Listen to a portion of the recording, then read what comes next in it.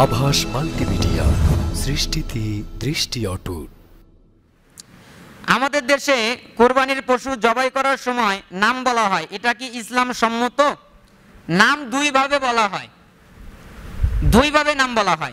একটা হচ্ছে যে আব্দুর রহমানের নামে, আ- আব্দুল্লাহর নামে কোরবানি করলাম, অথবা আমাদের পরিবারের সাতজনের নামে কোরবানি করলাম।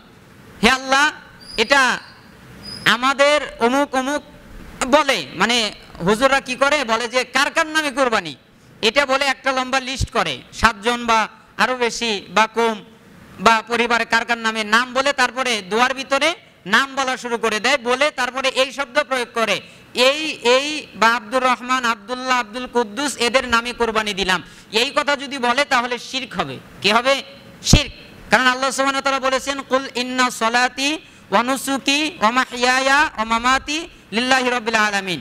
আল্লাহ তাআলা বলছেন যে বলো, নিশ্চয়ই আমার সলাত, নিশ্চয়ই আমার কুরবানি, নিশ্চয়ই আমার জীবন, নিশ্চয়ই আমার মরণ সবকিছু আল্লাহর জন্যে। তার মানে আমার কুরবানিটাও আল্লাহর নামে।